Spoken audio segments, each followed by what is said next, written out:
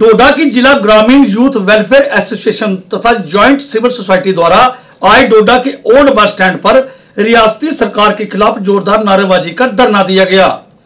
प्रदर्शनकारियों का नेतृत्व ज्वाइंट सिविल सोसाइटी के कन्वीनर नासिर खोरा, डीडीएफ के अध्यक्ष इश्तियाक अहमद देव तथा जिला ग्रामीण यूथ वेलफेयर एसोसिएशन के अध्यक्ष फरीद अहमद नाइक द्वारा किया गया। प्रदर्शन के दौरान इन नेताओं ने मांग करते हुए कहा कि डोडा के सरकारी डिग्री कॉलेज में पीजी की क्लासें शुरू की जाएँ तथा अंडर ग्रेजुएट के लिए तीन चार अतिरिक्त क्लासरूम बनाए जाएँ। उन्होंने सरकार को आखिरी चेतावनी देते हुए कहा कि उनकी मांगों को जल्द पूरा किया जाए। बात है, डोडा डिग्री कॉलेज में पोस्ट ग्रेजुएशन क्लासें शुरू की जाए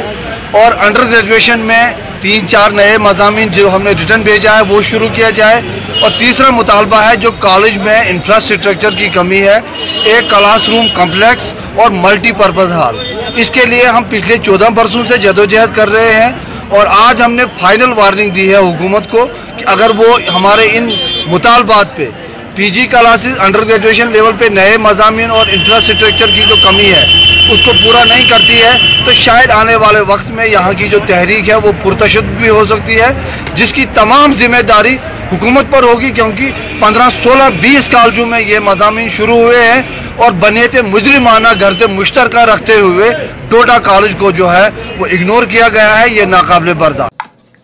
डोडा से आबिद हुसैन बानी अलर्ट इंडिया न्यूज़